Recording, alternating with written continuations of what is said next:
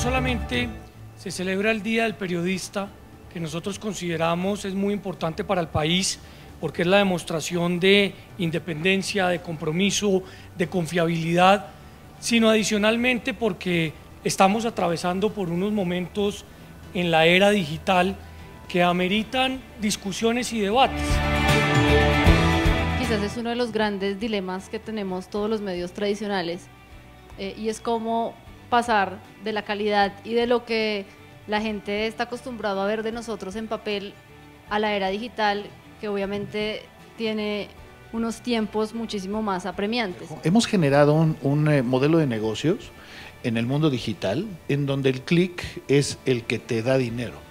Entonces, asumamos que un espacio importante para la generación de noticias falsas son páginas que se crean únicamente con la lógica de obtener recursos económicos a partir del clic que son bienvenidas, digamos, las alianzas de muchos medios para temas puntuales, pero que es muy peligroso que todos los medios empiecen a alinear su discurso. Si queremos una sociedad plural, es bueno que haya diferentes medios que tengan diferentes perspectivas, diferentes enfoques, etcétera. Entonces, en esa medida, lo que queremos hacer ahorita es ayudar a que, sobre todo en lo regional, se pueda, pueda haber otras personas que verifiquen el discurso a su manera.